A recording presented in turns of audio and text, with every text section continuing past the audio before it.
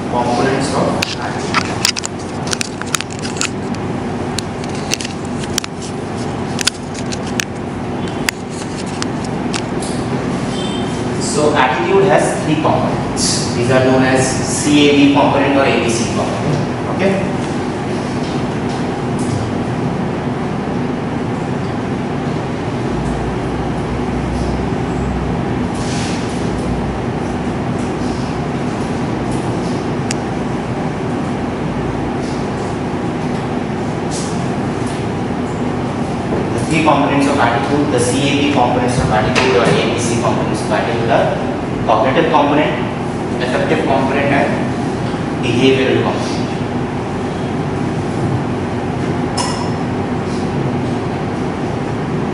Okay, so cognitive component. Cognitive component refers to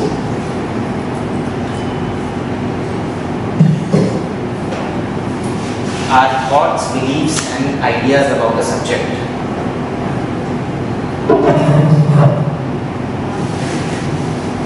our thoughts, beliefs and ideas about a subject.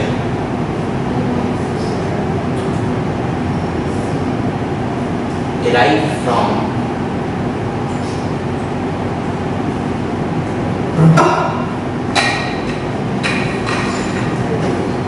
formal and informal sources of information.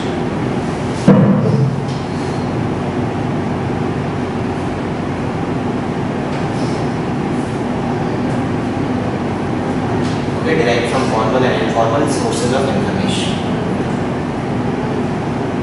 Affective combat.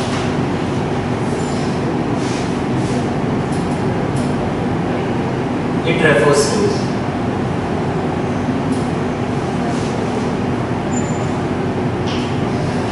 the feelings of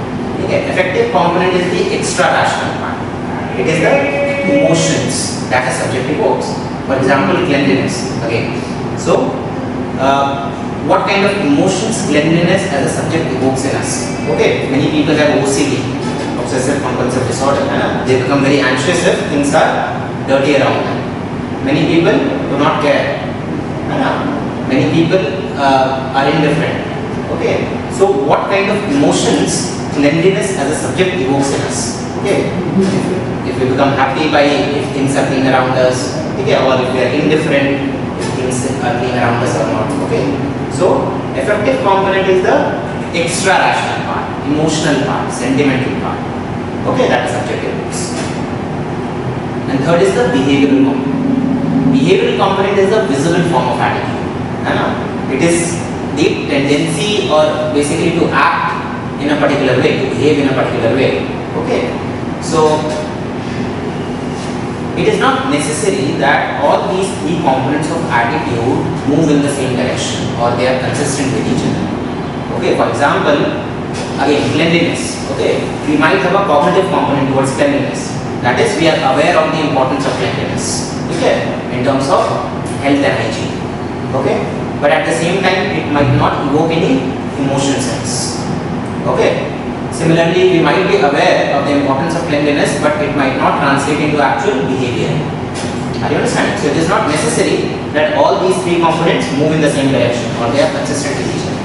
We might have cognitive component but we might not have affective or behavioral component. We might have affective component but we, might not have cognitive component. Many people not they are not literate they are not educated. They haven't read about the importance of cleanliness in terms of health and hygiene, but in terms of behavior, they keep their surrounding clean. Okay, so all the three can move in any direction. Behavioral is nothing but the visible form of attitude, your behavior. Okay, on the basis of your cognition, on the basis of your emotions, how you act towards a certain subject. Disposition means your behavior. Okay, it is the visible form of attitude. Behavior is the visible form of attitude. Okay? So these are known as the CAB component or the ABC hmm. components of attitude. Okay? Now functions of attitude.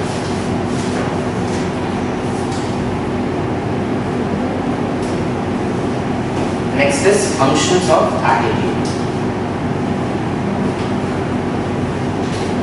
First, adjustment function.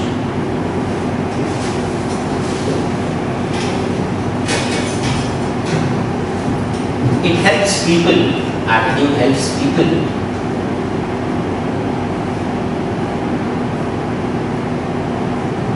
To adjust in their to adjust in their personal or professional life.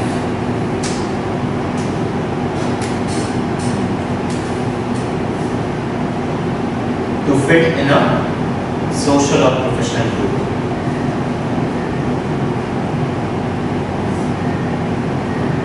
helps people to adjust in their personal or professional life to fit in a social or professional group. Okay, next is ego defensive function. Ego defensive function.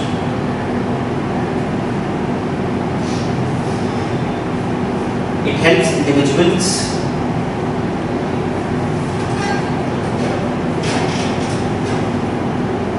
to defend their self-image.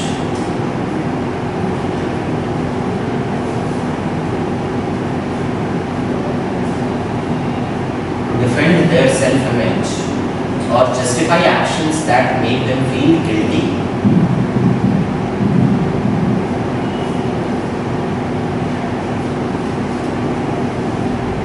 Or justify actions that make them feel guilty. Third, value expressive function.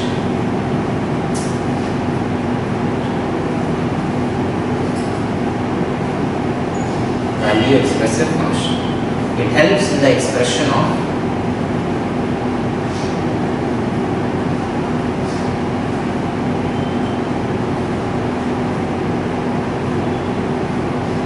core values of a person. Helps in the expression of core values of a person. And last, knowledge function.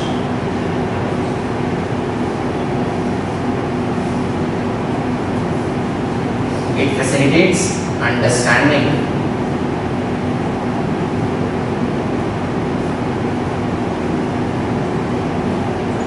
and interpretation of a subject.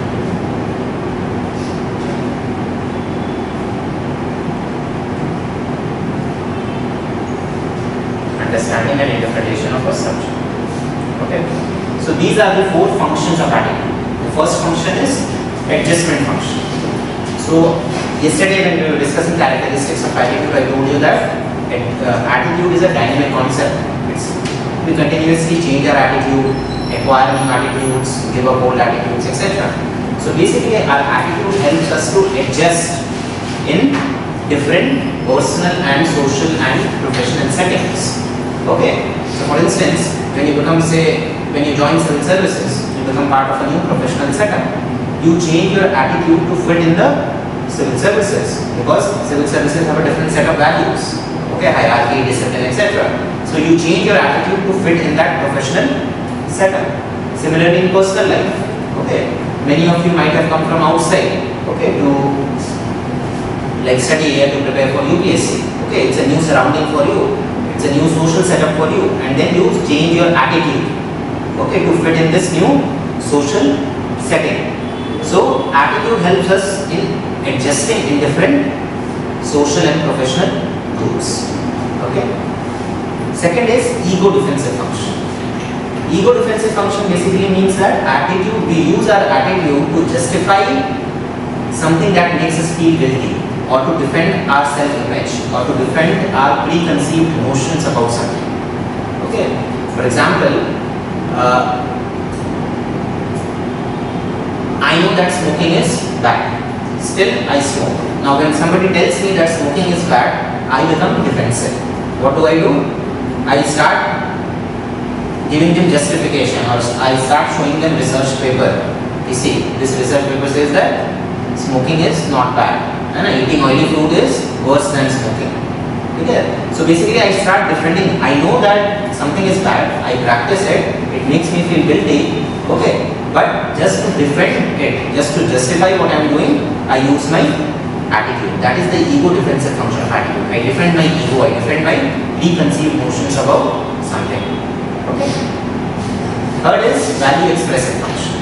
So value expressive function basically we use our attitude for expressing our core values about different subjects. Our, for example, uh, moral values, social values, political values, environmental values. Okay, we express or we use these, like we use our attitude to express these values. What are our moral values? For example, our opinion on a political issue. Okay, our attitude on a political issue. It is used for the expression of our political value, our attitude towards democracy, our attitude towards authoritarianism. Okay, it's an expression of our political value. Okay. And finally, knowledge function. The knowledge function is nothing but our attitude, our opinion, our views on different subjects. It basically helps in understanding and interpreting that subject. Okay, that subject could be anything. It could be an individual, it could be an institution, it could be an issue, anything. Okay? Factors affecting formation of attitude.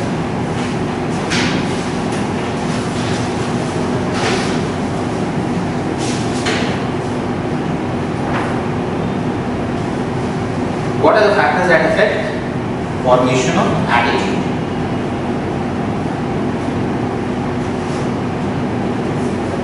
What are the factors that affect formation of values? Remember? We discussed factors which affect the value system of an individual. Which are the factors? It's at individual level, family, education institutions, functions. Individual life experiences, ethical awareness and ability to apply the same. Then at the meso level, organization code of conduct. At the macro level, we discussed larger social, cultural, religious, political, and economic factors. The same set of factors also are the factors that affect the formation of our attitude. So if a question comes, what are the factors that affect the formation of attitude of an individual? You have to use the same framework. Micro level may these factors affect the formation of your attitude, meso may these factors, and macro may these factors. Because again, in common language, values, ethics, attitude, they are used very interchangeably. So same set of factors affect our value system also, our attitude also, our ethical orientation also, how we think, how we act, how we behave. These are the factors that affect. Okay? So depending upon the nature of the question, use the same framework. Okay?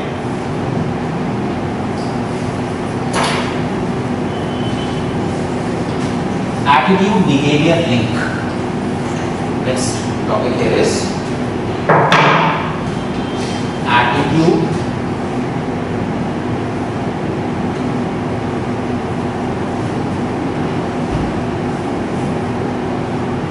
behavior link. Either on Saturday or Sunday, you will have a test. Okay? You will have two tests. So first test would be either on this Saturday, Sunday. Next test would be next. Okay. So um, yeah, attitude behavior link.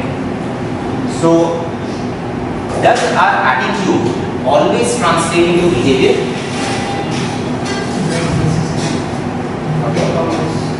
What are the situations in which our attitude does not translate into behavior? Restriction. And there is Restriction. Okay, and self-image, self-preserving, okay, yes. Anything else?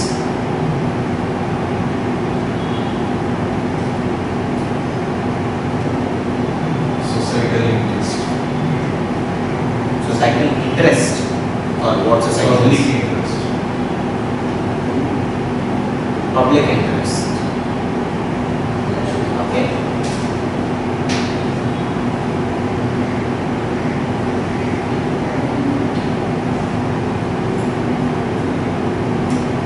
Okay, first of all, let us discuss factors when attitude actually actually translate into behavior. That is when attitude behavior link is strong. Okay. So a person is more likely to behave right a person is more likely to behave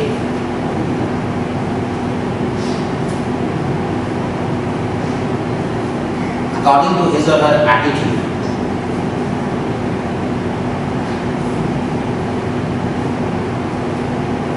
according to his or her attitude under certain conditions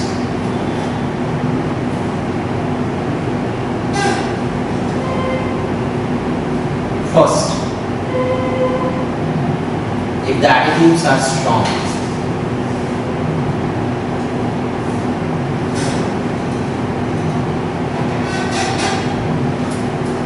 Second, if the attitudes have been formed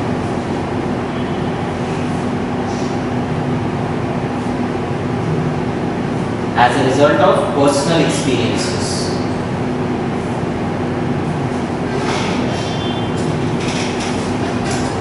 Attitude has been formed as a result of personal experiences. Third, if the person is aware of his or her attitude.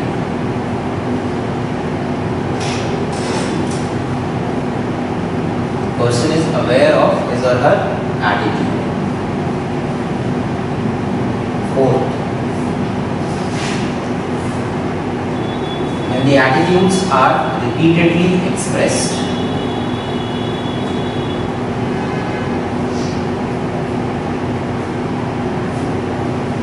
When the attitudes are repeatedly expressed.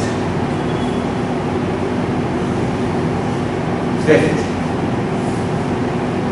when there is no external pressure,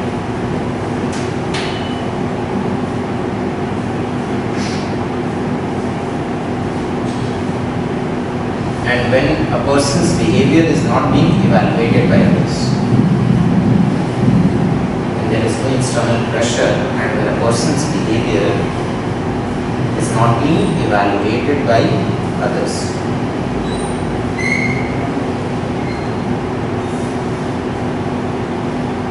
Okay, so if this these conditions are present, then attitude behavior link would be strong. Your attitude would actually translate into your behavior if these conditions are present.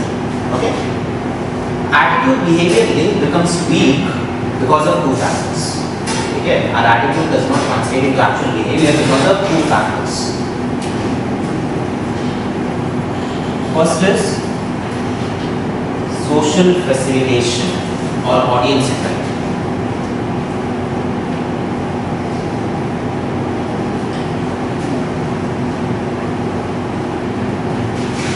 Okay, attitude behavior link becomes weak because of two factors. The first factor is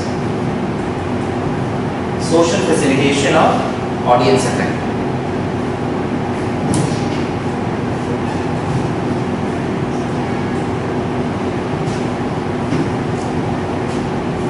It refers to the tendency of the people, social facilitation or audience effect refers to the tendency of the people to act differently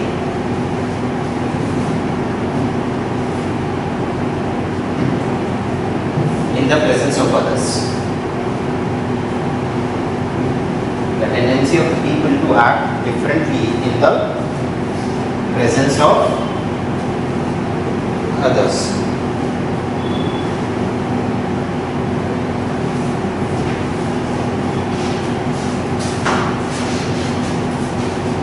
Okay?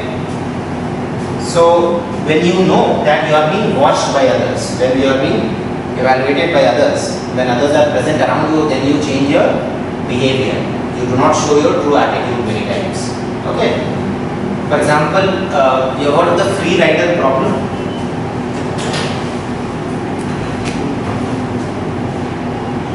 free rider. Understand free rider?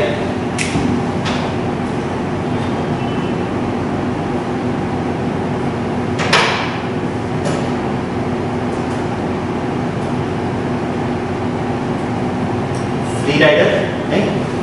Who's free rider is somebody who rides free of cost. Okay. So free rider problem generally takes place in group work, group activities. Okay. So in your college or when you were working, you might have been part of group activities. Okay. What happens in a group activity? If 10 people are part of the group, how many people work? One, two, three people work. Okay. What do others do? They free ride. Because points or marks would be given to the entire group. Okay, so it does not matter how many people have worked. Okay, so one or two people work and the remaining free ride on the hard work of others. And why does this happen now? If the same work would have given individually to different members of the group, they would have done it. Okay, so it's not a question of their competence to do the work, it's a question of their attitude. Okay, they change their behavior because they are part of a group. Because they know that even if they don't work, somebody else will. Okay. So free rider problem in group work is an example of social facilitation, where, where you change your behavior in the presence of others. Similarly, there are so many common examples also. We change our behavior when we know that we are being watched by others. Public speaking, for example. Okay. If we have to speak, say, in front of a mirror alone, all of us speak very well.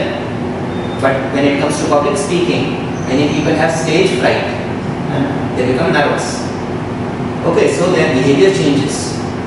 Dancing. Uh, many people, if we have to like dance alone, we can dance very well, but in the presence of others, we become very conscious. So all these are examples of social facilitation, where we change our behavior because of the presence of others, and our attitude does not actually translate into behavior.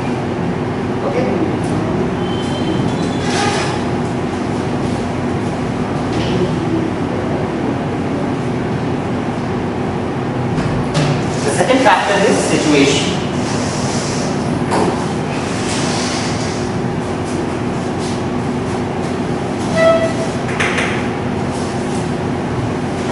Okay, situation again. Situation is an all-encompassing term. It's a very broad term. है? So, for example, you told about restrictions. Okay, it would come under situation. So many times we have an we have a particular attitude towards a subject, but because of the situation, it does not reflect in our behavior. Okay. For example, we might have an attitude against corruption. Okay, we might have a negative attitude against corruption, against corruption. But the situation, sometimes the situation is such that we are forced to pay a bribe.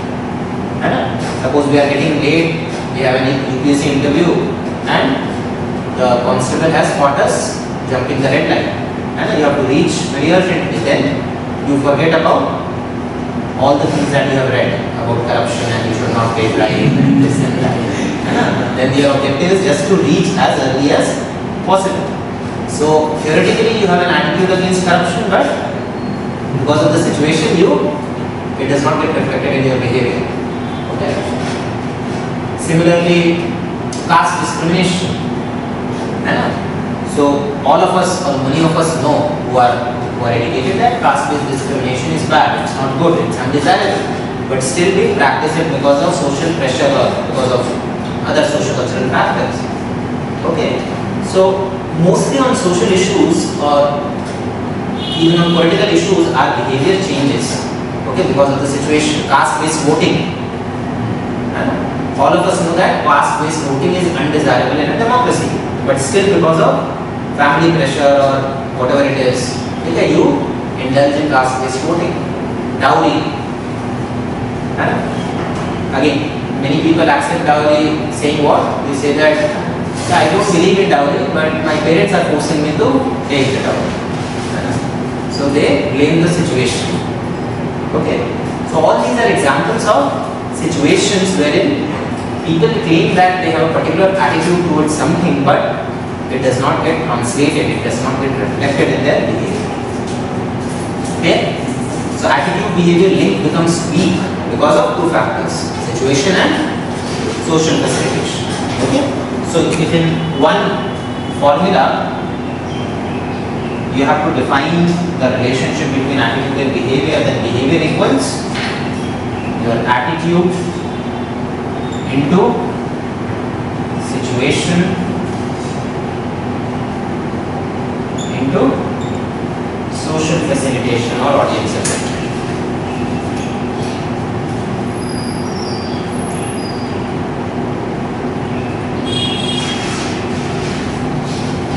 Okay, so this is basically the formula that defines the attitude behavior link. Behavior equals your attitude into situation into social. Clear? So if any question comes on attitude behavior link, give as many examples as possible and to show that our behavior changes because of situation, our behavior changes because of audience effect. Clear?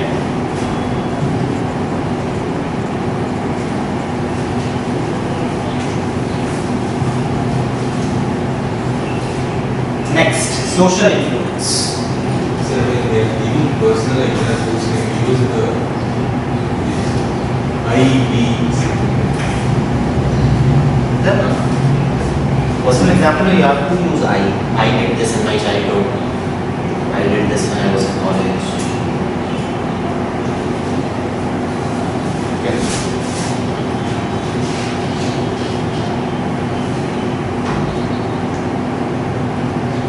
और ये क्या बोला मैंने social influence पहले persuasion persuasion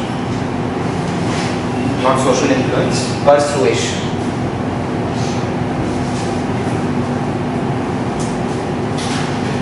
Persuasion refers to the process of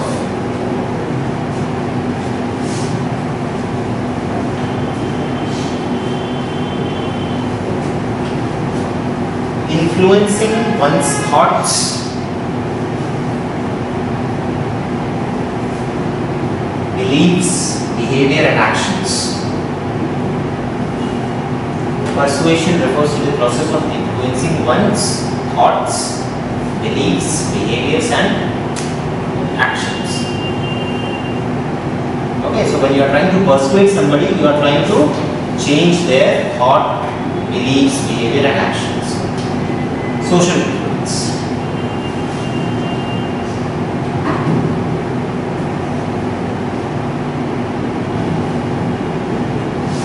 it refers to the process. It refers to the processes.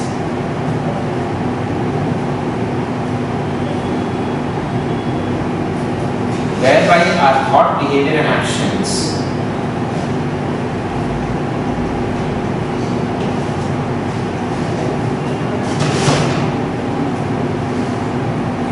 whereby our thought, behavior and actions are influenced by the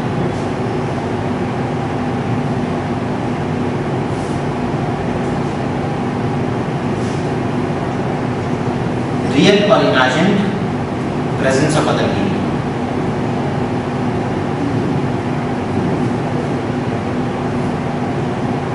It refers to the processes whereby our thought, behavior and actions are influenced by the real or imagined presence of other people. There are three forms of social influence.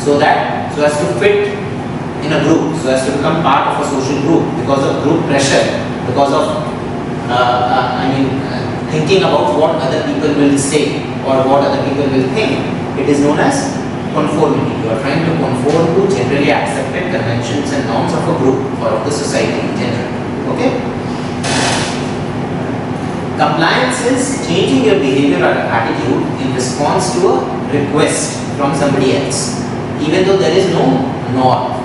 Okay, in conformity there are group norms, there are group conventions. In compliance there are no norms or conventions. It's just that somebody else is making a request, request and you are changing your behavior. For example, say when a salesperson comes to you uh, to sell his or her product, so he tries to convince you, he, he makes a request to you, okay, and then you change your attitude or behavior accordingly, okay. And obedience is what? When you comply not with the request but with the order of a person or institution in authority. Okay, when compliance is shown to an order or an instruction by an entity in authority, it could be parents or teachers or police, government, etc. Okay, then that behavior is known as obedience. Clear? Okay. Now this was the theory of attitude, social influence and persuasion. Now the more important part is application. Okay. The application basically focuses on how to bring about attitudinal change.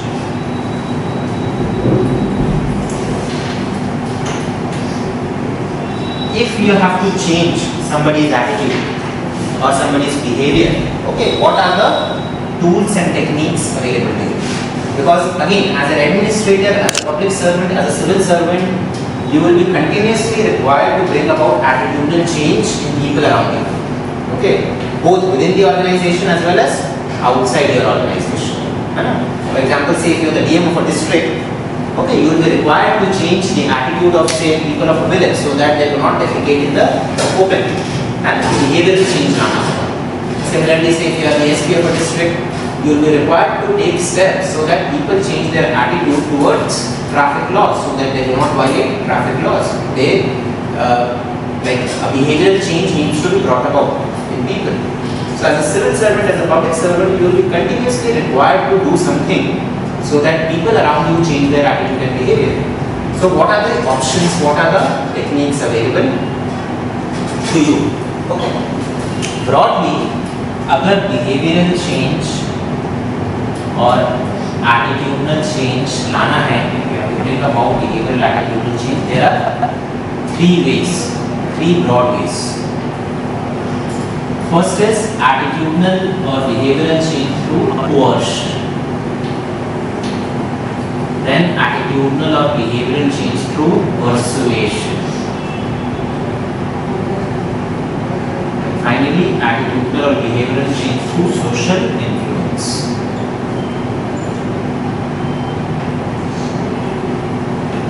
Okay, these are the three broad means or techniques to bring about attitudinal or behavioral change.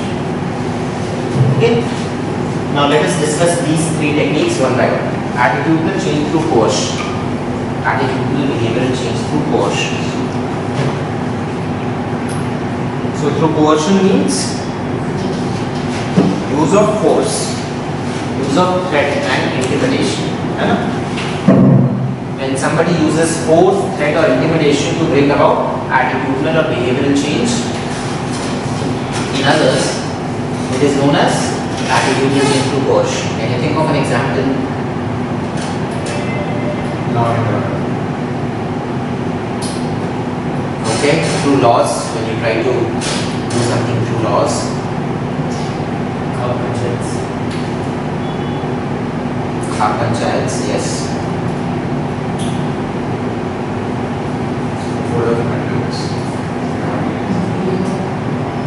That is part of the laws, laws, rules, regulations.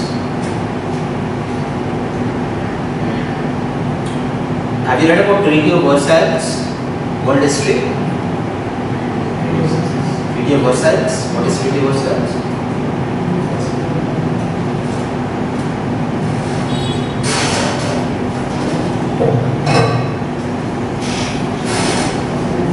So after the First World War, after Germany was defeated by Allied powers, Treaty of Versailles was signed between the Allied powers who were victorious and the defeated powers.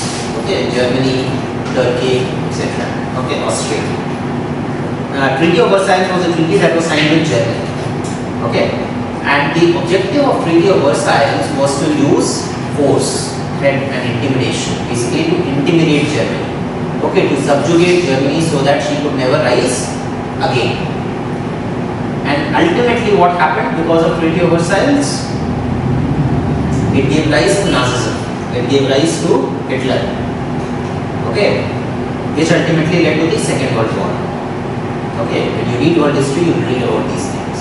Okay, so Treaty of Versailles is a good example of how attitudinal change through coercion is not sustainable. Again, generally attitudinal change through coercion is not sustainable. Long-term attitudinal and behavioral changes cannot be brought about by using force, threat and intimidation. Okay. So treaty of Versailles is a very good example to show that when you try to coerce somebody, force somebody to do something, okay, they are not going to do it. Even at an individual level. Okay, when somebody forces you to do something, if your parents are forcing you to do something, or if somebody else is forcing you to do something, you develop resistance. Okay, ye to main nahi I won't do this. Okay. So, in general, coercive techniques or coercion as a means of attitudinal change is not sustainable. It does not bring about long-term changes. Okay. You can give examples of prohibition. We, we had discussed ethics of prohibition. You remember? So, so many states have prohibition laws. And basically it's a technique of forcing people not to consume alcohol, but it has not worked anywhere. Has not been effective. Okay. Yeah, people find a way. So I told you that quote now.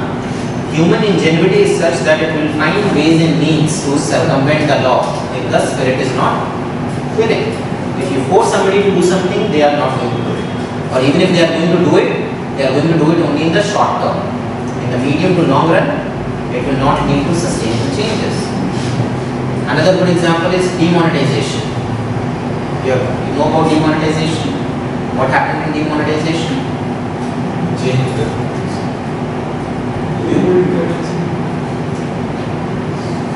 Yeah, the old 500 and 1000 rupee notes, they ceased to be legal tender. Okay. And basically people were forced to act in a certain way. And they were forced to uh, do certain things.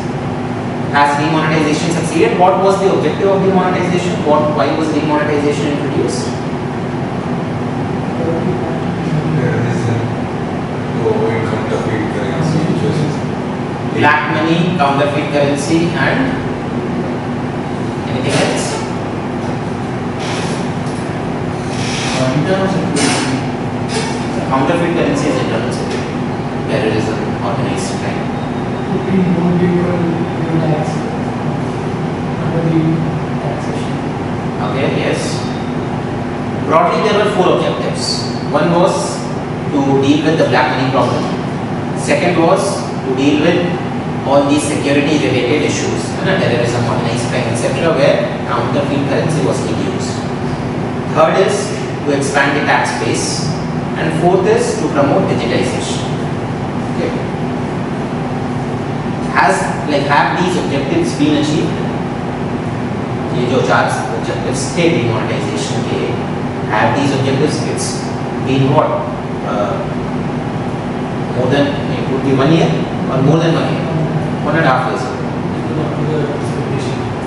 how it is not up to the expectation Inspiration has got more, but again the recent stats again show that the installation has come down again the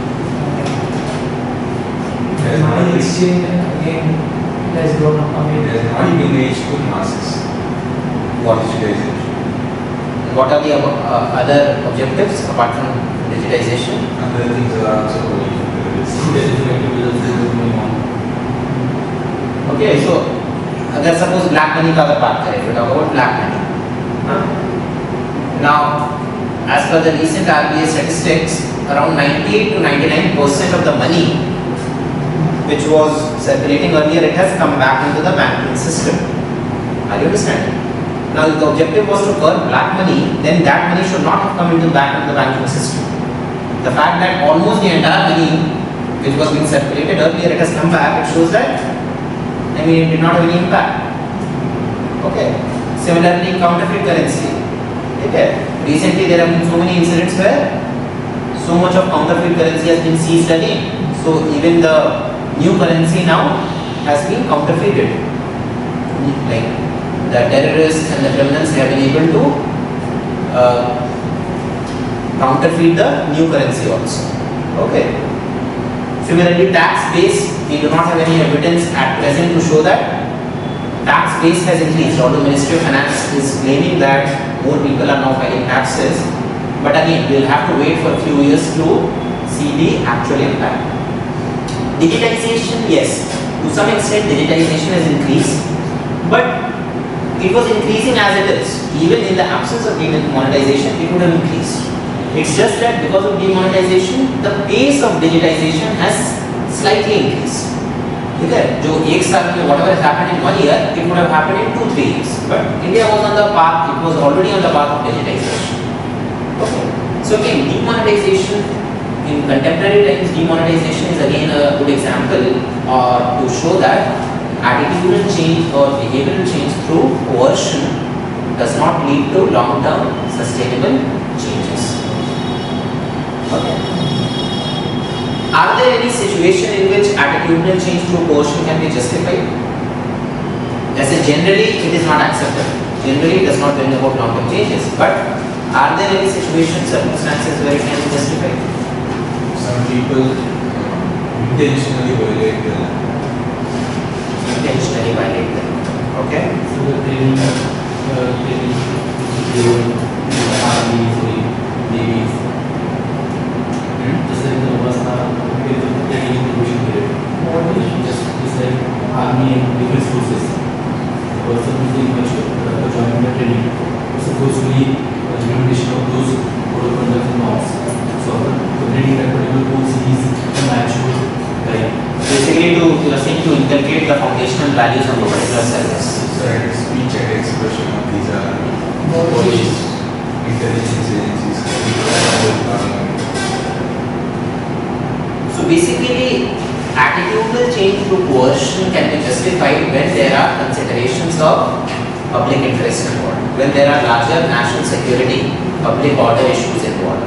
Okay, for example, army, military, or police that we are talking about, there are larger issues of national security, public order, public interest. Okay, so in such circumstances, coercion as a tool to bring about attitudinal change, behavioral change can be justified. Okay, for example, say if you have captured a terror suspect and that suspect knows about a terror incident that is going to take place.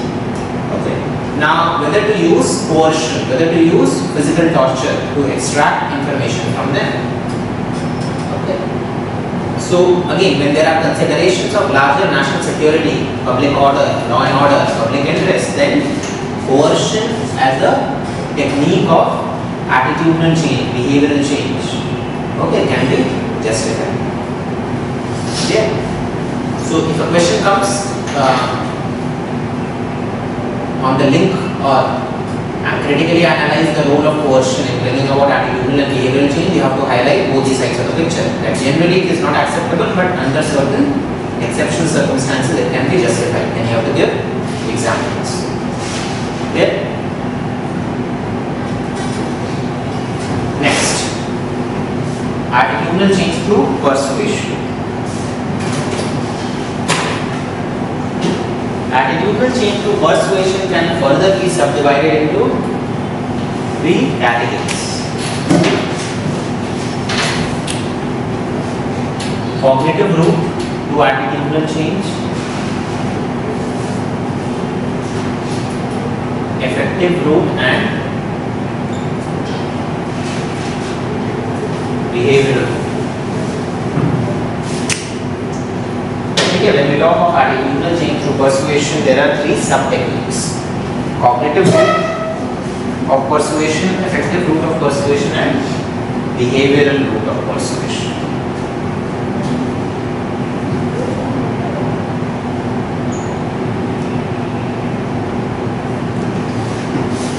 So cognitive route में क्या करते हैं? How what is the cognitive route to persuasion?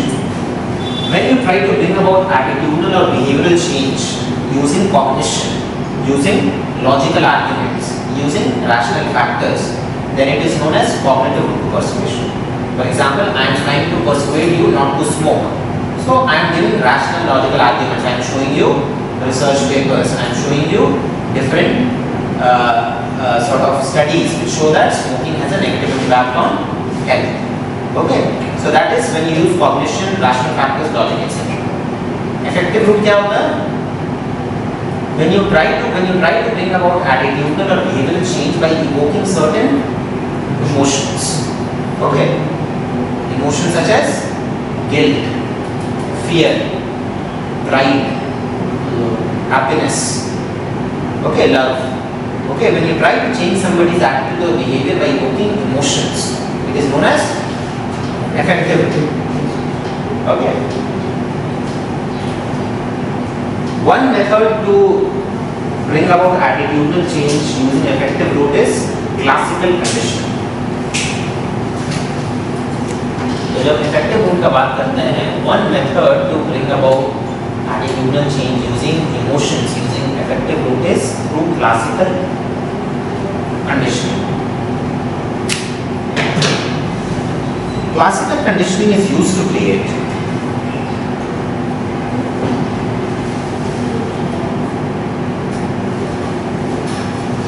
used to create certain emotional reactions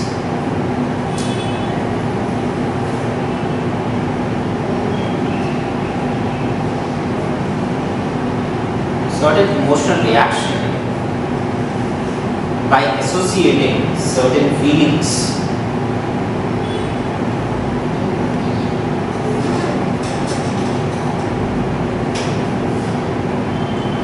with the target object.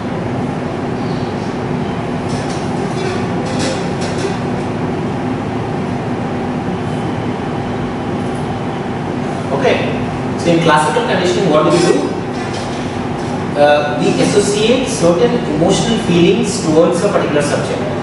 A, a particular feeling gets associated towards a target object. For example, commercial advertisements use classical conditioning. Okay, so whenever they are trying to promote a particular product, what they what do they do? They associate a certain emotion with that product. And for example, say कोई soft drink का advertisement है सम soft drink Pepsi Thums Up Coca Cola etcetera what do they show they are showing that some cricketers are drinking that soft drink and they are having fun okay they are having a good time okay now from the perspective of a viewer i start associating that soft drink with fun okay that emotional reaction gets attached to that product are you understanding okay so whenever i will see that soft drink i will think about that emotion even recently, uh, if you have seen that Coca-Cola ad, where they have like customized products. Uh, now, for different relationships, they have a different Coca-Cola bottle for brother, for friend, for father, for mother. Uh, so, basically, it's again trying to play with the emotions of people. They are trying to evoke certain emotional reactions. That whenever you see that bottle, you will start remembering your father, mother, friend, sister, brother, whoever it is. Are you understanding? So generally in commercial advertisements, this classical conditioning, affective route is used. You know, they try to evoke certain emotions. In fact, the original experiment of classical conditioning, uh, it took place with a dog. It is known as Pavlov's dog experiment. Okay. So what happened there? That the researchers or the experimenters uh, they used to give food to a dog. Okay.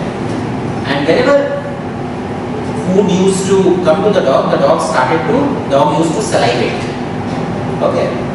Now what these researchers started doing, that they started ringing a bell before giving food to the dog. So now what happened? Just because of the ring of the bell, the dog started to salivate, even if food was not given to him. Uh, food was not given to him.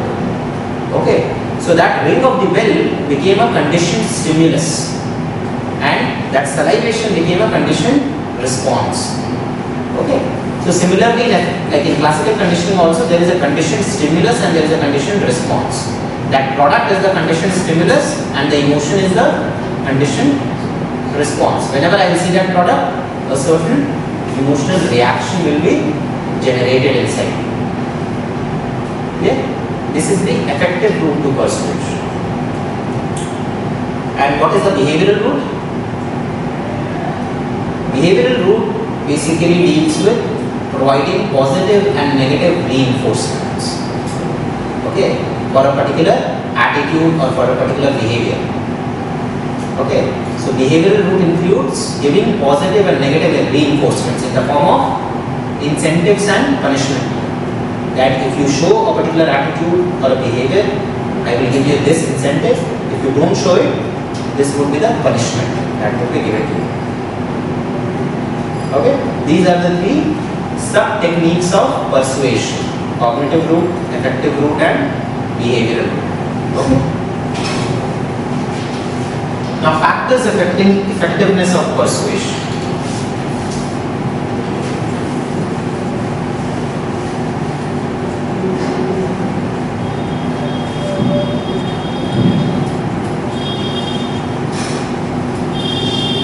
Factors affecting effectiveness of persuasion.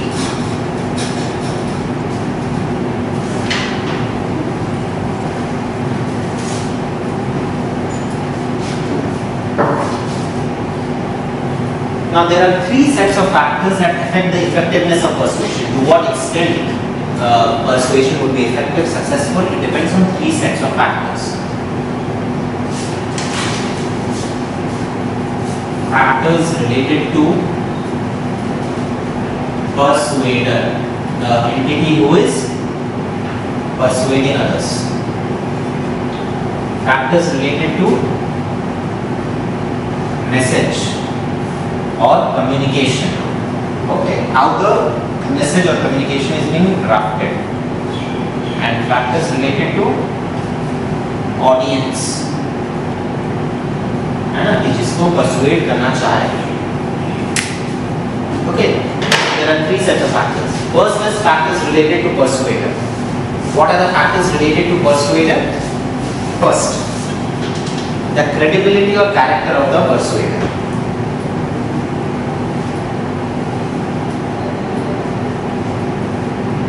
Okay, so the effectiveness of persuasion depend, depends on the credibility of the persuader.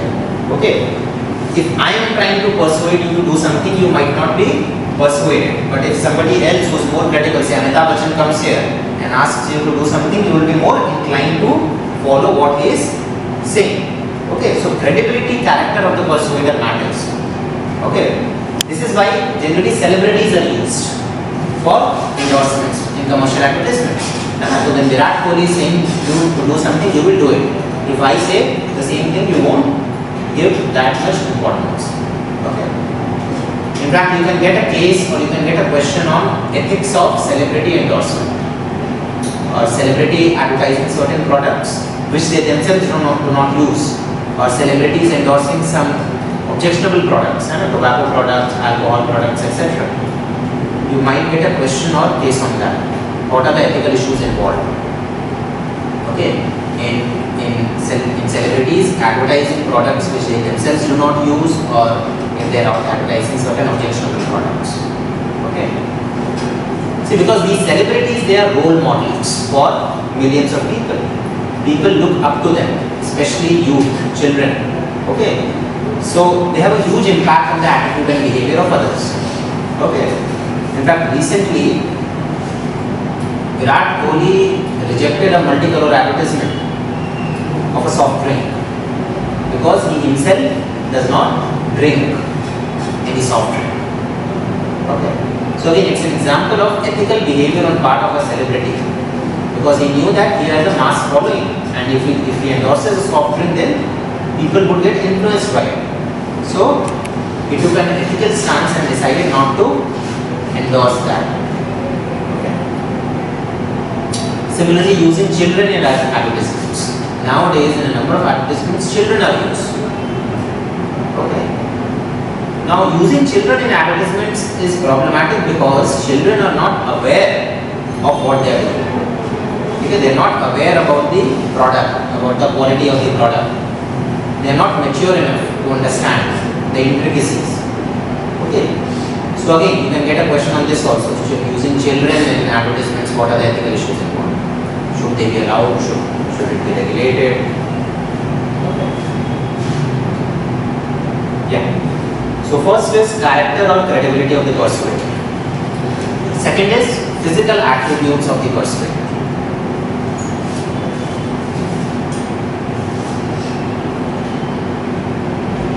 So again, the research suggests that people are more likely to be persuaded by good-looking persuaders rather than bad-looking persuaders.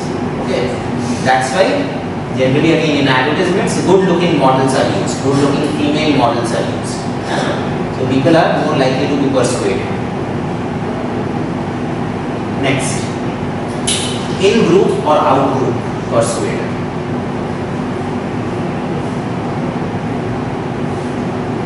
in group or out group persuader. In group persuaders are more effective than out group persuaders. Okay. In group persuaders are more effective than out group persuaders. Who are in group? Basically, who are part of that group. And as for example, if you have gone to a village to persuade people to do something, okay, they are more likely to be persuaded by somebody from within the village than somebody from outside the village. And I, that's why when whenever generally we go to a village, we take the help of local community leader. Know, because people have more trust in them. And finally, number of persuaders. Number of persuaders. So higher the number of persuaders, more will be the effectiveness of persuasion. है ना जितने ज़्यादा लोग बोलेंगे किसी चीज़ के बारे में उतना ज़्यादा इम्पैक्ट आएगा है ना कि on a particular issue 10 people are trying to persuade somebody, then he or she is more likely to be persuaded.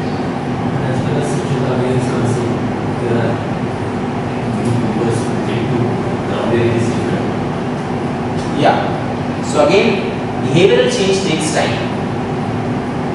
एक दो साल में नहीं आता है Okay, at least people have started talking about it. The fact that you and me are talking about it, this does not used to happen earlier. So it has become part of our public discourse. Swachh Bharat Abhiyan, open defecation. Okay. This, I mean, five years back, this does not used to happen. It wasn't like people did not even discuss it. So at least people are now discussing it. People have become aware of the problem. As far as actual behavioral change is concerned, it will take time. It takes time. On any social issue, on any environmental issue, it takes years. Okay, before uh, it becomes part of your attitude and behavior. So एक दो साल का वो impact नहीं है. Okay. Okay. Second, factors related to message.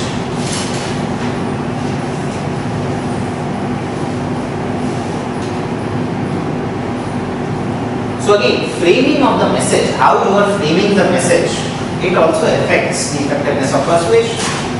So messages can be framed in a positive way or in a negative way. For example, I can try to persuade you by saying, uh, by saying something in a positive way. For example, that if you do this thing, you will be benefited in this way. If you attend classes, if you study for like this, you will benefit. Or I can say that in a negative way also. If you don't do this, you will be negatively affected, big animals. Hmm? Patwa is a coercion, that is not persuasion. Here we are talking about persuasion. So by persuading only, I am trying to persuade you, I am not trying to force you to do something, but by persuading only, how am I framing the communication? How am I framing the message? In a positive way or in a negative way? Okay. Again, depending upon the processing capacity of the audience, messages can be framed in two ways. Central route and peripheral route. Okay. So messages can be framed in two ways using central route and using peripheral route. Okay. So central route is used uh, audience which has a high processing capacity. Okay. High processing capacity means they are well educated, they are aware, okay, they can process information. Okay. In central route, while framing the message, again, rational factors, logic, okay, empirical evidence, they are used in the process of persuading the audience. Okay. So again, if the processing capacity of the audience is high, if they are educated, they are literate, they are aware, okay, then central route to persuasion is used. That is, you frame the message on the basis of rational factors, on the basis of logical arguments, empirical evidence, etc. On the other hand, if the processing capacity of the audience is low, if the audience is not that well educated, they are not that well aware, they are ignorant, okay, then peripheral route is used. So basically in peripheral route, messages are framed on the basis of extra rational or emotional factors. Okay. For example, uh, celebrities being used for election campaign. And election campaigning given a number of celebrities are used. Now, when, when the celebrity goes for election campaigning, they do not try to argue logically with the people. Okay. Their presence just evokes certain emotions in people. Okay. Now, generally celebrities are used in rural areas where people, where the processing capacity of the audience is low. तो वहाँ पर the audience does not care what is the election manifesto of the party, what the party is going to do. ठीक है? They do not have that capacity to understand that. What they see, they just see that celebrity endorsing this particular party, and therefore they vote for that party because that celebrity had endorsed that party. Okay, so this is basically a peripheral, okay, wherein you are not using logic or scientific evidence or rational factors, you are using emotions or extra rational factors to bring about attitudinal change or behavioral change. Okay. So there is like which, which uh, very important. As the movies like three how the messages. Okay, uh, they have the emotions, they have the message. So where uh, we can do it. It reflects both characters. So emotions, that they need some to some intellectual way, they present, they uh, address both the audience, both the center and periphery. Yeah, it's a combination of do? See, these are not hard and fast compartmentalizations. In practice, these things, all this is theory. In real life, everything is a mix of all these factors. You try to persuade somebody using logic also, then you try to evoke certain emotions also. Okay, many times you do both of these things simultaneously. So, hard and fast compartmentalization is not possible in real life. Real life, it's a combination of multiple factors. Okay. Third is factors related to audience. Okay. So processing capacity is one factor which we have already discussed. If the audience has high processing capacity, then central route to persuasion is used. And if the audience has low processing capacity, then peripheral route is used. Okay. Then readiness to change. Another factor related to audience is readiness to change. How open the audience is, whether they are willing or ready to change their behavior or not. Okay. And finally, perceived intention of the persuader. Another factor related to audience is perceived intention of the persuader. Okay. So if the audience feels that the intention of the persuader is to bring about attitudinal change or behavioral change, then they would resist that change. Are you understanding? When you know that somebody is trying to persuade you to change your attitude or behavior, okay, you will develop resistance. He, he is trying to change my behavior, I am not going to do that. Huh? Even though it is good. हाँ even though it is good just because it is being externally imposed है ना मुझे मैं उसकी बात क्यों सुनती हूँ मेरा मन करेगा तब मैं करूँगा है ना? so again what is the perceived intention on the other hand if I think that that person is not trying to change my behavior we are just having a discussion we are just having a conversation and in the process okay willingly I want to change my behavior okay so what is the perceived intention of the persuader what do I perceive Okay what is the intention of the persuader if I perceive that the persuader is trying to change my attitude or behavior, I might develop a resistance. On the other hand, if I perceive that the persuader is not trying to change my behavior, he or she is just trying to have a conversation, discussion, then I might, I would be more open to attitudinal change, behavioral change. Okay. So again, perceived intention of the persuader matters. Yeah. So we have discussed attitudinal change through coercion, through persuasion. Within persuasion, we have discussed three techniques: cognitive route, affective route, behavioral route. We have discussed factors that affect the effectiveness of persuasion.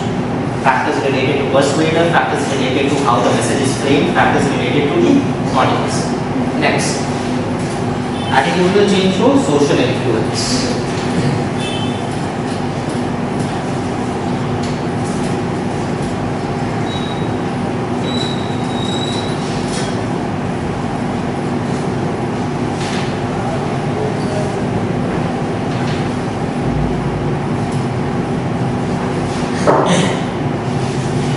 The three forms of social influence?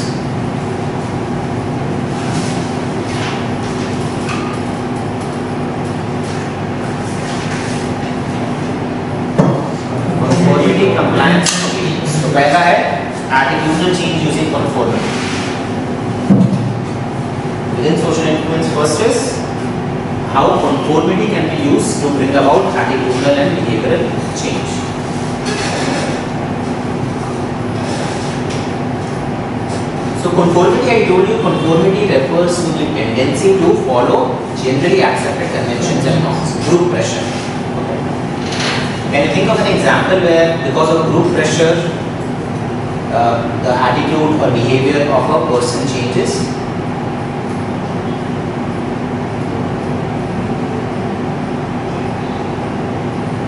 Have you read about SHGs, self-help groups? Have you read about JLG model, joint liability group model? SHG bank linkage program. What do banks do as part of SHG bank linkage program? They, they trust you, they trust them, that they will do, they will pressurize and be able to pay up. There is any But loan is not given to an individual. Loan is given to the entire group. Okay. Now it has been observed empirically that the repayment rate of loans which are given to groups is more than individuals. Why is it that? Because of group pressure. Because when loans are given to a group, then there is group pressure to repay the loan. Because if any one person of the group defaults, the entire group defaults. Are you understanding?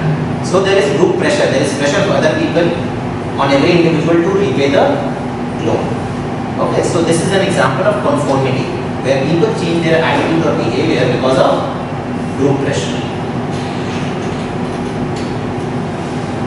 Again you have to give these common examples see ये जो topics हैं these are all topics from psychology social influence persuasion attitude conformity compliance obedience आपको psychology के examples नहीं देने हैं. You don't have to give examples from psychology you have to relate it to what is happening around us to economy politics society और उसके examples आपको करने हैं. These examples you will not find in psychology books है ना? एसएचजीजीएस के example So do not adopt a theoretical approach. Just basic of theory. What is conformity? That's it. Examples जो हैं आप खुद बनाइए. है ना? That's why newspaper reading, your GS knowledge is very important. Okay. Com- uh, conformity, compliance.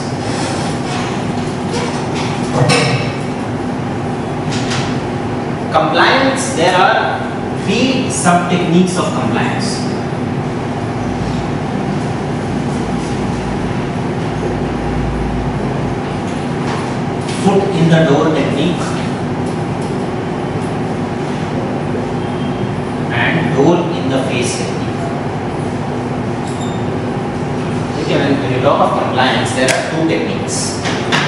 Foot in the door, door in the face. Pehla, foot in the door.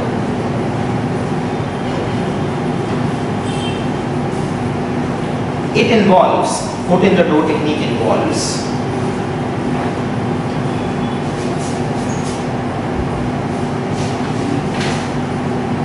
getting a person to agree to a large request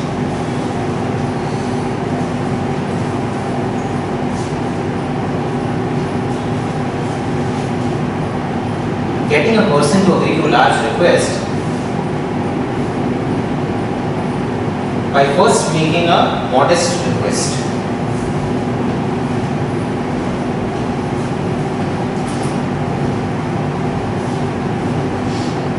By first making a modest request and gradually increasing the intensity of the request.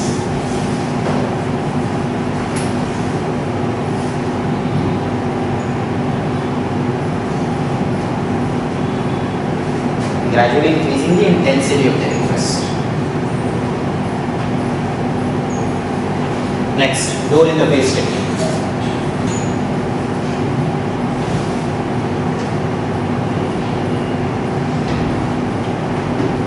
Here, the persuader tries to convince the respondent.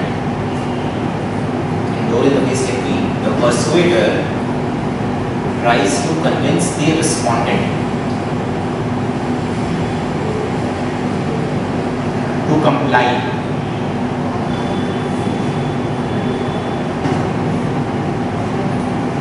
By making a large request first.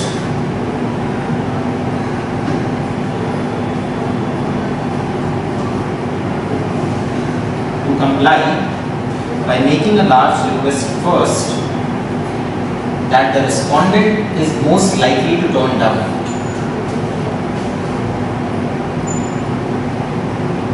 That the respondent is most likely to turn down.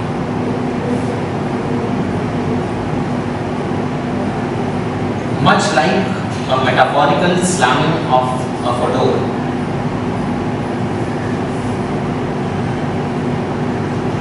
Much like a metaphorical slamming of the door the persuader's face.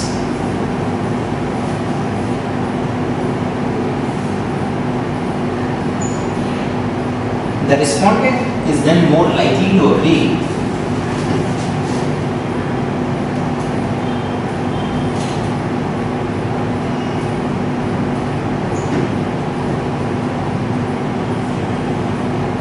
the respondent is, is then more likely to agree to a second more reasonable request.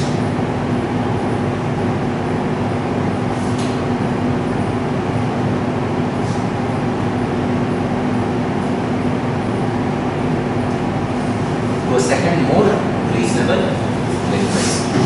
Okay? So when we talk of compliance, there are two sub techniques: foot in the door and door in the face. What this can be dialogue. Dialogue as Take an example of the US sensor or the equals of the peninsula. Okay. So dialogue is happening. First to be there and Yeah, negotiation, not the dialogue. Negotiation, discussion. Negotiation, discussion. Yeah. So door in the face is actually a negotiation that takes place. We'll discuss. Foot in the door. Earlier, let us discuss foot in the door. Foot in the door. What are we doing? First, we are making a small request, and then we are gradually increasing the intensity of the request. Okay. So, for example, if I want to bring about attitudinal or behavioral change in you, okay, I start by making a small request. For example, I want you to give up smoking. And you smoke 10 cigarettes a day. Now, I'm not going to tell you to s- stop smoking altogether.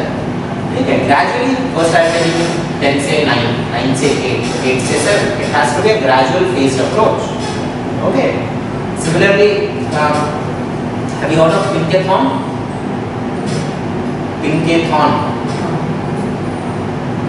pinkathon नहीं पढ़ा नहीं सुना है pinkathon is a movement uh, started by Milan Soman you know Milan Soman ये हम लोग ना newspaper नहीं पढ़ेंगे टीवी नहीं देखेंगे तो कैसे काम चलेगा दुनिया में क्या हो रहा है बुक पढ़ने से यूपीएससी नहीं निकलने वाला है है ना. हाँ Cancer. Yeah, it initially started as a movement against uh, as to spread awareness regarding breast cancer. Okay, but slowly it has become a uh, holistic health movement to promote holistic health among women. Okay, Pinkathon. So as part of Pinkathon, Milind Soman, who is a model, he is a model actor. Okay, he is a fitness freak. So he basically goes to various places and he tries to persuade women to adopt a healthy, active lifestyle. Okay. Now, as part of Pinkathon, recently I was at one of the places where he had come, and I saw how he was persuading people, how he was persuading women. Okay. So he gave them small targets. He did ask them to start running marathons. Hey, from tomorrow, start running marathons, or start doing this, start doing that. He was very reasonable. He gave them small targets. Okay, for the next one week, you do just this. Okay, you walk for 500 meters, you walk for one kilometer. Next week, you, you brisk walk for one kilometer. Then you slowly start jogging for half kilometer. Okay, so we made small requests. Okay. Similarly, recently I saw an advertisement. Okay, of Rajkumar Rao. I'm sure you haven't heard of Rajkumar. Rao. He's an actor. Okay. Huh? He was in. लेकिन देखो is a mainstream actor अभी राजकुमार राव की movies में आया है बरेली की barfi so many movies आप लोग ना टीवी देखते हैं ना मूवी देखते हैं पता नहीं क्या करते हैं देखकर। Possible. बिल्कुल पॉसिबल है। आठ नौ चौबीस घंटे में से आठ घंटे सोना सात घंटे सोना. Everything is there on internet all there are all the TV channels apps आपके मोबाइल फ़ोन पर आ जाएँगे मैं टीवी नहीं देखता हूँ सारे ऐप्स में क्रिकेट भी फ़ोन पर देखता हूँ इंडियन आइडल भी फ़ोन पर देखता हूँ मूवी भी नेटफ्लिक्स पर देखता हूँ। Everything is there on your phone there is no need for TV all these apps netflix amazon prime they have revolutionized the way and it has happened so fast. One year back nobody would have thought this. Nobody would have thought that they can survive without say television or tata sky or airtel. Nowadays everything that is there on television whether it be sports news music movies everything is there on amazon prime netflix different tv channels have their own app. See you have to be aware of what is happening around you. है ना आप लोग अपने room में बैठकर the Hindu के अंदर घुसे रहिएगा तो it's not going to happen see things have changed you have to be you have to keep your eyes and ears open you have to see what developments are taking place around you these things help in your preparation i'm not asking you to watch movie every day or yeah but at least watch tv debates discussions see what is happening around you be aware Okay, it should be part of your schedule, it should be part of your timetable. Watching TV discussion कोई TV debate again don't watch every debate है ना? Political debate देखने का there is no use ठीक है some issue based debate if taking is taking place on some news channel और on Rajya Sabha TV और Lok Sabha TV watch those things so थोड़ा सा you need to be aware of what is happening around you क्या कह रहा था मैं हाँ so recently I saw an of ad by Rajkummar Rao where he was trying to persuade people to change their eating habits है कि मीठा कम खाइए eat less sugar no he didn't ask to give up sugar altogether because people are not going to do that he says that if you have to eat two gulab jamun instead of two gulab jamun eat one if you have to eat one instead of one eat just half ठीक है if you take four teaspoon of sugar every day then four को two लाइए two को one लाइए I understand all these are examples of post the door see जो एग्जांपल्स आपको answers में लिखने हैं वो यही सबसे मिलते हैं वो बुक में नहीं मिलेगा एग्जांपल बुकिश एग्जांपल्स अगर लिखिएगा you won't get marks you have to connect these theory theoretical concepts with whatever is happening around you i understand that will show to the examiner that you have the analytical skills. You are able to connect. See, ultimately, you have to work in a common environment. All this theory is not going to help you when you are a servant. how effectively you are able to link whatever you have learned as part of theory to whatever is happening around you, that is what UPSC is trying to test. So foot in the door. Door in the face में क्या होता है? You make a large request first that you know that the other person is not going to agree. Then you make a smaller request. Okay. So basically it's a continuous sort of negotiation that goes on. Okay.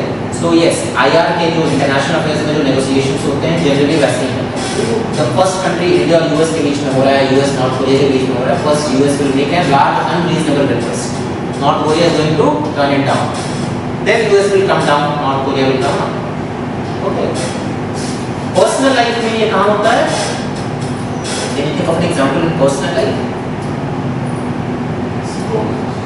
spouses के साथ। Okay. Street shopping में भी होता है। बात ये नहीं होता है। आप जाएँगे, कुछ खरीदने, वो क्या बोलेगा? पाँच सौ रुपये आप बोलेंगे, पचास रुपये फिर वो चार सौ पे आएगा, आप हंड्रेड पे आओगे, वो तीन सौ पे आएगा, आप टू हंड्रेड पे आओगे तो सब middle ground you will find so that person also knows कि 500 I'm not going to accept. But if after 500 if he says 300 then it would be much more acceptable than if he would have started with 300 are you understand? So again these are common examples that you have to give in your answers. Okay? Compliance. Then obedience.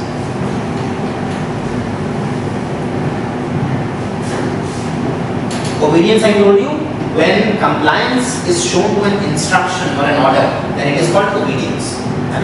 Obedience is very similar to coercion जो हमने attitudinal change to coercion पढ़ा obedience is very similar because again through an order or uh, by you are sort of pressurizing somebody to do something to obey to certain things so again all the laws which are framed which all the citizens have to obey, have to follow, they would come under attitudinal change to obedience.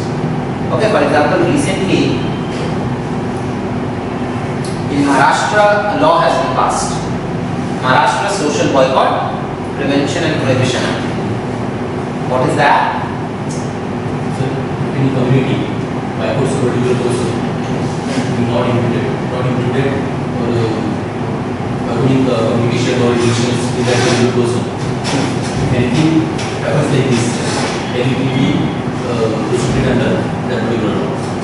Yeah, so basically it, this law has been to deal with social boycott of certain individuals or communities which was taking place in Maharashtra. Essentially, you have to caste based so you have to go on any other form of discrimination. Okay. So what was happening is that like panchayats in certain areas they were boycotting say certain families or certain individuals if they do not follow the norms of the panchayat or if there were intercaste marriages or interreligion marriages those families and individuals were being socially boycotted they were not being allowed to use say uh, public places, temples, temples, etc. Okay. So now initially what did the government try to do? They tried to persuade people not to do this. Okay, this is wrong. Cognitive rule affective rule वो सब कुछ adopt किया उससे कुछ फायदा नहीं हुआ फिर क्या Then finally they passed the law. Maharashtra Social Boycott Prevention Prohibition and Redressal Act. Okay. So basically now people are being forced to change their behavior and attitude. Okay it's an example of attitudinal change through obedience. Okay? And finally, in social influence, apart from conformity, compliance, obedience, there is the last route, which is the observational route to attitude change. Observational route to attitudinal Observational route is nothing when you change your attitude or behavior, observing others, trying to emulate the good qualities of others. ना?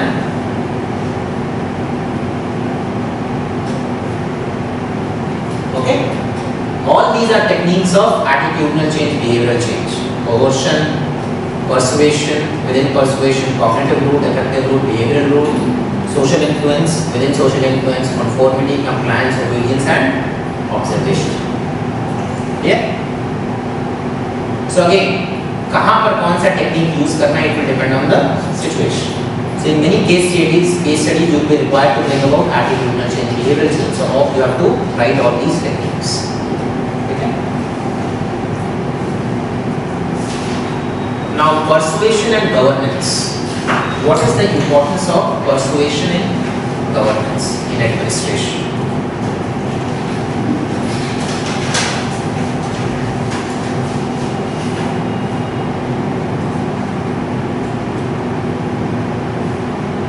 ठीक है you might get a question on the relationship between persuasion and governance कि persuasion का importance क्या है governance में Now again, persuasion is a very integral part of transformational leadership. जैसे emotional intelligence we have discussed, emotional intelligence is a very important part of transformational leadership. Similarly, persuasion, your ability to persuade others, your ability to influence others is a very important part of transformational leadership. The importance of persuasion in governance can be analyzed at two levels within the organization and outside the organization. ठीक है तो within the organization wherever you are working you will be required to persuade your subordinates your colleagues your peers to behave in a certain way okay persuasion is a very important part of theory y management style remember theory x theory y behavioral management style, ethical management style, which is considered to be the ethical management style. Okay. So again, uh, give small examples. Okay? Basically, through persuasion, you are able to win the heart and minds of your subordinates, and you are able to earn their respect, and which will, which basically leads to long-term sustainable behavioral changes. Okay? Outside the organization का क्या मतलब है? persuading to general people, citizens in general, on any issue. है ना? So I gave you the example of DM persuading the villagers to change their habit of open defecation, or an SP trying to persuade uh, people of a, of a area to follow traffic laws. So again, outside the organization, persuasion is a very important tool available to public servants, civil servants, which they have to use on a day-to-day -day basis. And uh, even the government, whenever the government tries to uh, implement some policy or program, the first thing that it tries to do is to persuade people to follow that policy. And a Swachh Bharat Abhiyan में persuasion fact, it's much harder than Jnana. That is a very successful example of persuasion. There is a campaign called Banko Bikano campaign in Bikaner district of Rajasthan.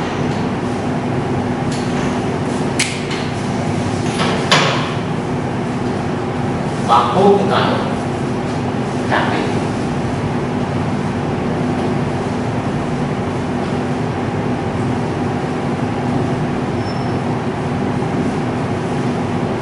So as part of Banko Bikano campaign, what has happened is that the district administration of Bikaner district, the word of Bikaner, Bikaner in Rajasthan.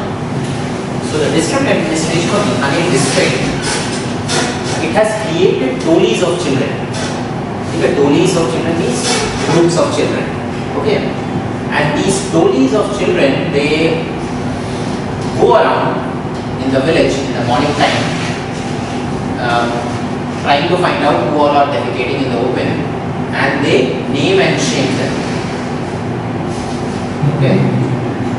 So, which technique of persuasion it is? Now the objective is to bring about attitudinal and behavioral change. Which technique of persuasion? Classical. Ah, effective route. And cognitive, affective and behavioral route, there are routes to persuasion. This is the affective route to persuasion. You are trying to embarrass them. You are trying to reduce guilt in them. So after this Banko Bikano campaign was introduced, incidents of open defecation have reduced considerably in the Bikaner district. Okay. So it's a practical real life example of how persuasion, affective route to persuasion has been used to bring about behavioral change in governance, in administration. Okay. So basically the success of any government policy or program depends on the ability of the government to persuade people to follow that policy or program. Until unless people stop defecating in open or the government is able to persuade people to stop defecating in the open, to stop littering in, in the public, okay, the objectives of Swachh Bharat Abhiyan cannot be achieved. Similarly, government has been persuading to like people to give up their LPG subsidy. You have heard of LPG subsidy? Uh, the government has been persuading people that uh, if you can pay the market price, please give up your subsidy. है Polio campaign. Polio campaign again, which was led by Amitabh Bachchan. You know about polio campaign? हम्म, दो बूंद जिंदगी के लिए so again it is a very successful example of how a celebrity again i told you that credibility of the persuader matters है ना in persuasion so how a celebrity was able to bring about attitudinal or behavioral change in the people okay similarly corruption cannot be dealt with till the time there is attitudinal and behavioral change in the people है ना? all these are examples of importance of persuasion in governance okay that for the success of any public policy persuading all the stakeholders to change their attitude to change their behavior is essential. Till the time attitudinal or behavioral change takes place through persuasion long term sustainable changes cannot be brought about. Okay? So if a question comes on application of persuasion in governance analyze at two levels within the organization outside the organization. And for both give examples, current examples, contemporary examples. For example, ये बांको के गानों वाले example. Clear?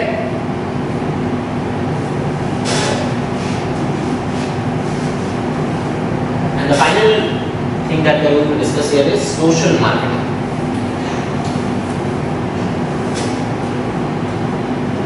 Social marketing. It refers to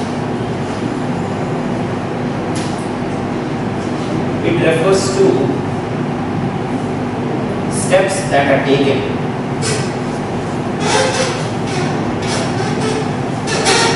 It refers to steps that are taken to bring about attitudinal or behavioral change.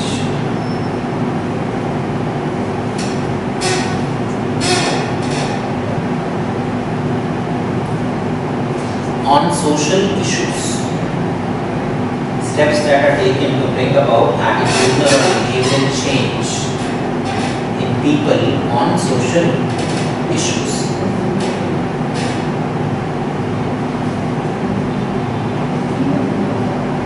Principles of social marketing. Next is principles of social marketing. First, take advantage of prior and existing social campaigns.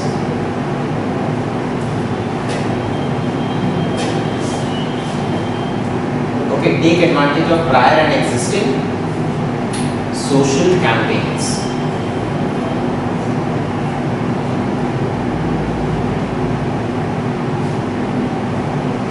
Okay, so whenever you are, say, if you are a policy maker, okay, you have to formulate some policy, then you should try to learn from like prior existing campaigns, prior existing schemes and policies that have succeeded in other parts of the world or in other parts of the country. Okay, for example, um, the SHG model, SHG model of women empowerment. Okay, where did it originate? SHG model. In which country? Bangladesh. Okay. By a person called Muhammad Yunus. Grameen Bank.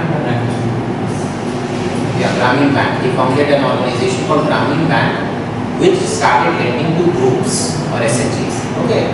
And basically the model uh, was very successful there and then other countries such as India also followed the same model. Similarly, um, conditional cash transfer. You have heard of this term, conditional cash transfer?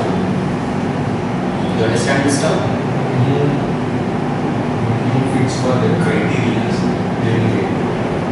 Yeah, so basically you will get cash if you follow certain conditions. In which scheme does India have conditional cash transfer in any of the schemes? Yeah, Indira Gandhi मातृत्व सहयोग योजना और जननी सुरक्षा योजना। एससीसीसी में क्या है?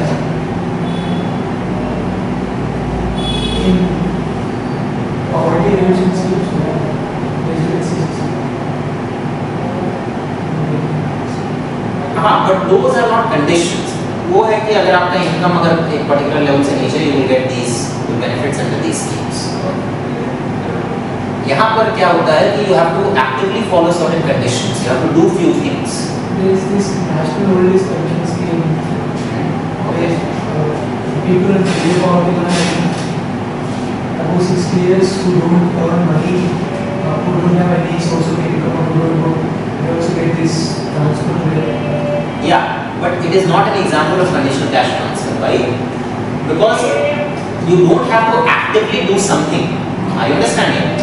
If you are a poor, if you are an old person, okay, you will get money in your account. You don't have to do something to get that money. Are you understanding? In conditional cash transfer, you have to do something. For example, Janani Suraksha Yojana or Indira Gandhi Matritva Sahyog Yojana. There, pregnant women have to go to hospitals and get regular health checkups, get antenatal and postnatal care, and go for institutional delivery. है ना कि hospital में जाकर they are required to deliver the baby. If these conditions are satisfied, if they go for regular health checkups, if they go for regular tests, if they go for prenatal, postnatal care, if they go for institutional delivery, then only they get money. So uh, it's an example of conditional cash transfer. Okay. Now again, conditional cash transfer as a policy, as a scheme or as an idea, it did not originate in India. Where did it originate? In Brazil. Okay. In Brazil there was a program called Bolsa Familia.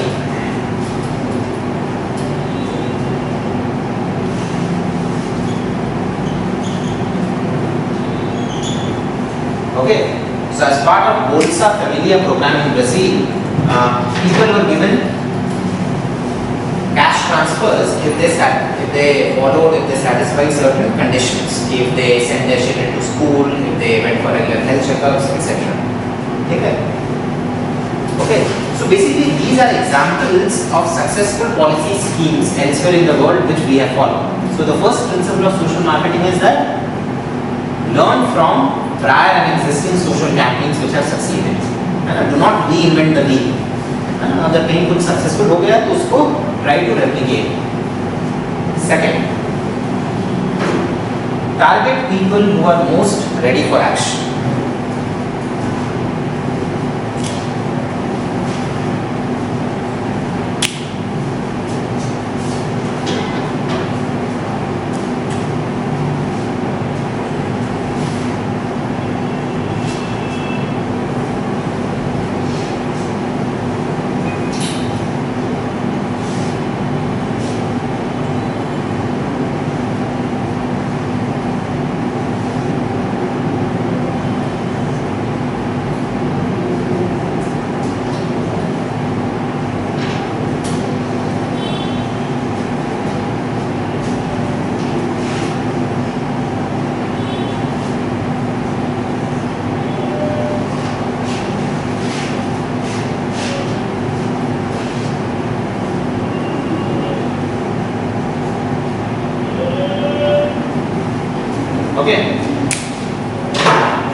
the basis of readiness to change, people can be divided into four categories. Pre-contemplation phase, contemplation phase, preparation or action phase and maintenance phase. Okay. Pre-contemplation phase क्या है? दो contem- what does contemplation mean? Contemplation means to think. Okay. Pre-contemplation phase में वो लोग आते हैं those people are in the pre-contemplation phase who have not even started thinking to change their attitude or behavior. ठीक है are not even aware that there is some problem with their attitude or behavior. behavior. Okay. Contemplation phase comprises of those people who are who have become aware that okay, there is some problem with my attitude, there is some problem with my behavior, and they are thinking, they are contemplating to change their attitude or behavior. Preparation action phase क्या है? दो people हुआ इधर preparing और हुआ acting basically वो action phase में enter कर गए now they have started to change their attitude और behaviour okay and maintenance phase क्या है?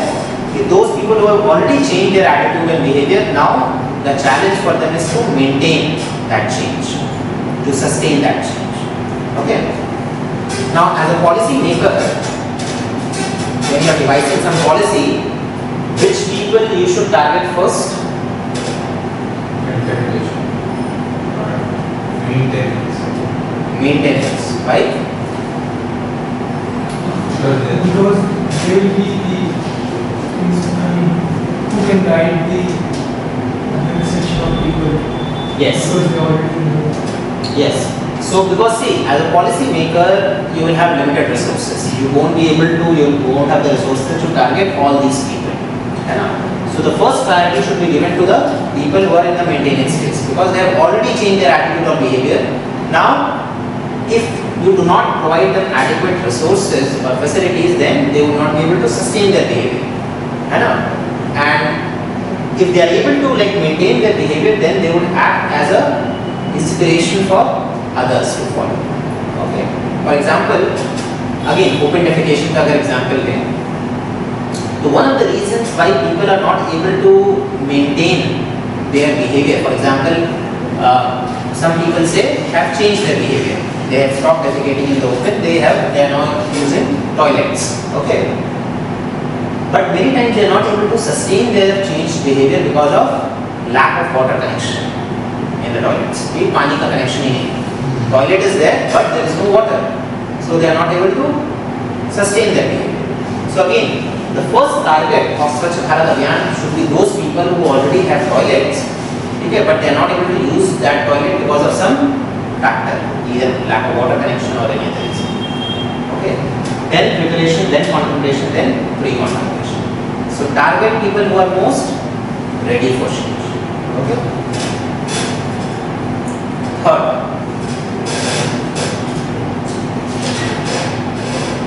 promote single doable behavior one at a time.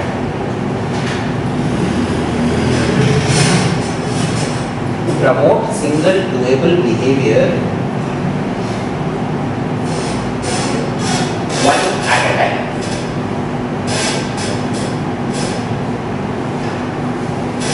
Okay. So again, this is basically means foot in the door technique. है ना? कि if you have to bring about attitudinal change towards a complex issue, ठीक है? Try to promote single doable behavior one at a time. For example, take the example of sustainable development. Our attitude towards sustainable development. Now, if the government wants to create a positive attitude among the people towards sustainable development, there are multiple things that people can do. Okay, for example, we can start with doing simple things. Simple things such as switching off fan, light, air conditioning, etc. when we are not using them. Okay, switching off our vehicle on red light. Okay, these are simple things that everybody can do. Okay. The next set of things which are a little more difficult is things such as say waste management, and segregating waste at source. Okay, asking people, persuading people to segregate organic waste, inorganic waste, proper segregation, proper disposal of waste. Using public transport. है ना? Persuading people, encouraging people to use public transport, or persuading people, encouraging people to say install solar panels on their rooftops. ठीक है ये थोड़ा difficult है third level पर आएँगे तो there are more things that can be done for example reducing your carbon footprints by consuming locally produced products. You understand carbon footprint? What is carbon footprint? What is your carbon footprint as an individual?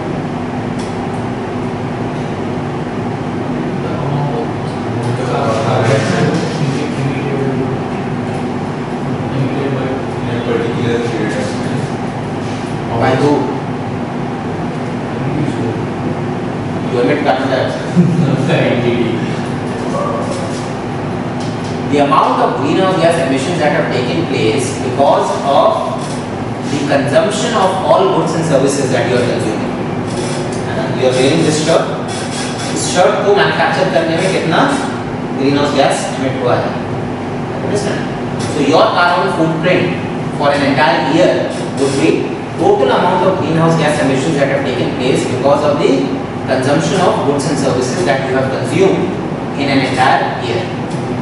है It will include everything, whatever you have consumed. उसको produce करने में, manufacture करने में, transport करने में कितना greenhouse gas emissions हुआ.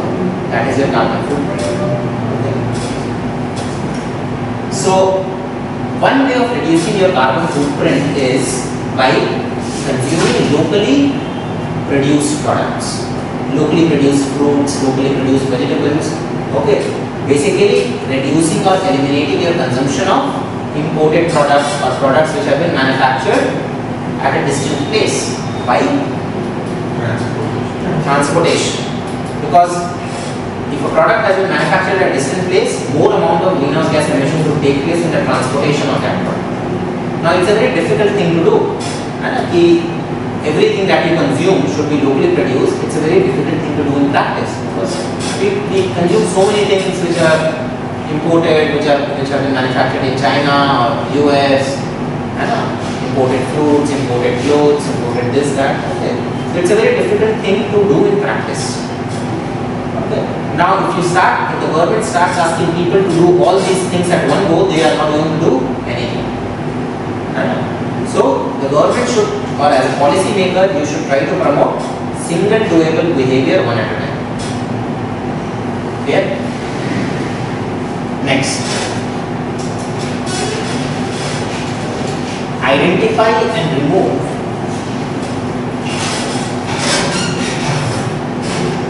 barriers to behavioral change.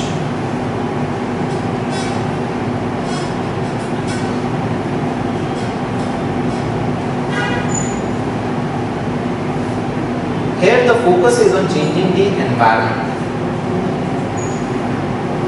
Here the focus is on changing the environment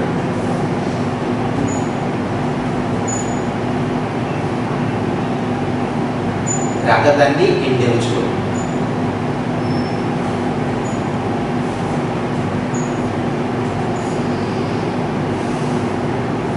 Okay. So ये principle क्या है? Identify and remove barriers to attitudinal change. So basically many times individuals want to change their attitude and behavior, but because of the environment, because of the system, they are not able to change it. Okay, for example, take the example of income tax, filing your income tax. Now earlier, there was a lot of tax evasion. Most of the people did not used to file income taxes. Although many of them wanted to file income taxes. why? Because the tax administration system was very non-user friendly. Okay, Earlier we had manual system of filing taxes. People had to go to tax offices. There were a number of complicated forms which they had to fill.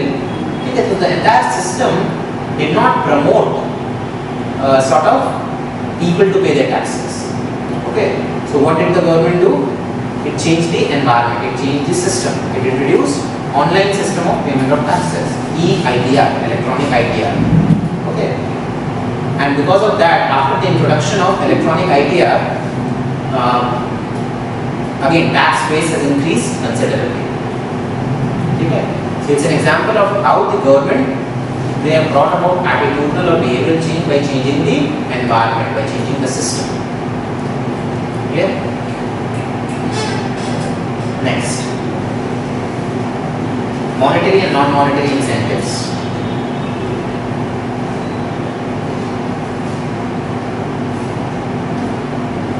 monetary and non-monetary incentives.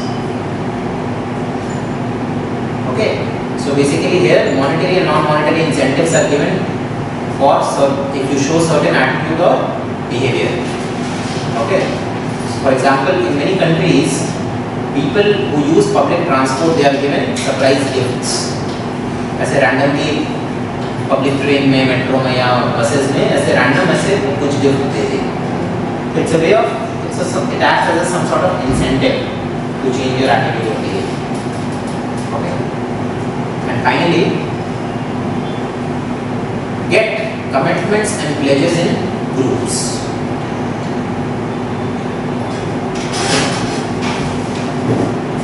get commitments and pledges in groups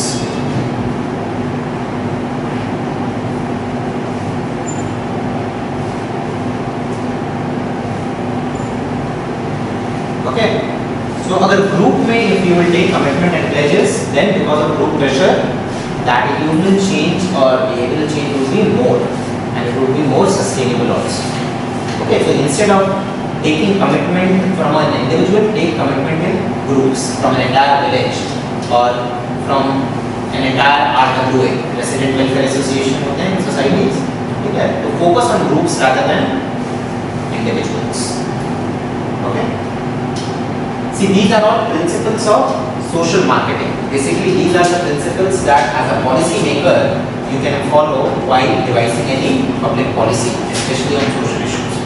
ठीक है तो बहुत बार ऐसे questions आते हैं cases आते हैं where uh, in the case it is said that you are a policy maker you have to draft a particular policy how will you draft the policy what are the principles that you will use ठीक है these principles can be used in those questions okay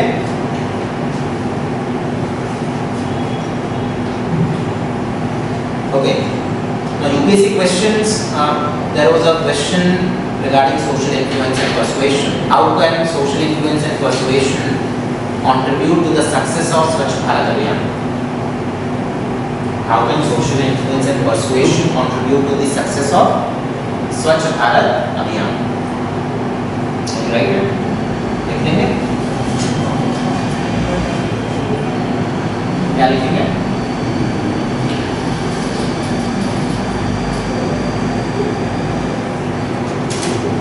example.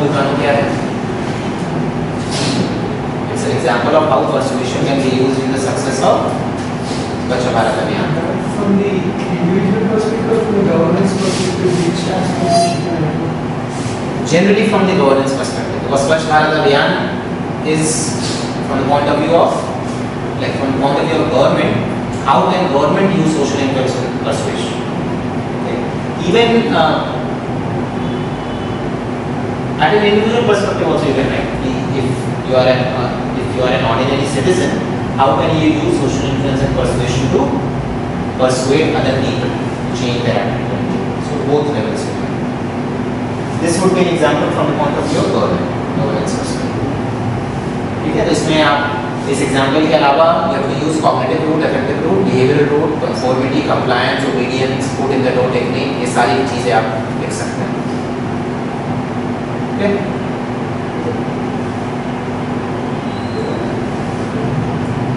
Clear? Any questions here? Attitude, social influence, persuasion में कोई doubts है, questions है? Again, see, I told you that these are topics of psychology. Attitude, social influence, persuasion. Whatever theory we have read, that is more than sufficient for ethics paper 4. Again, attitude itself is a huge topic in psychology. You start reading about attitude, there is no end to it. And similarly, social influence and persuasion also. Do not read too much of theory. Do not read psychology optional. Theory, whatever we have read, that is more than sufficient. Just you can, apart from the examples that we have discussed, you can add more examples in your notes. That's it. Okay? Okay. So we'll start with the next topic. We'll take 10 minutes break. We'll meet at 12.55 and then we'll start with ethics in private sector.